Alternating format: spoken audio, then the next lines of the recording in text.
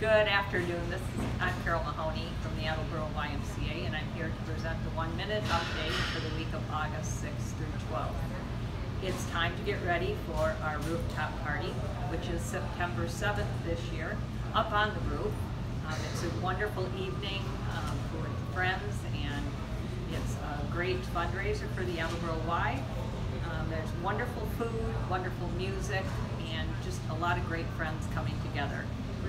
Uh, outdoor movie night is August 8th at the Norton Outdoor Center. There will be food, there will be adventures for kids. Um, we're going to show the Troll movie and also have a craft. Great time to enjoy the outdoor pool. Uh, back to school family night is Friday, August 17th, right out on the um, playground area here at the downtown Y. This time is for kids to meet their friends again before school gets started, ask questions about registration for our school programs. Um, you can enjoy some food, jump in the jump house, enjoy some music. Just a good time to get together before the hectic life of school begins again.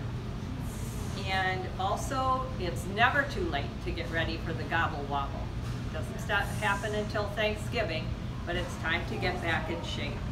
So we will have on beginning August 22nd, the Y Run Club will start, and it's just a great time to get ready to gobble and wobble. Thank you. Have a good week.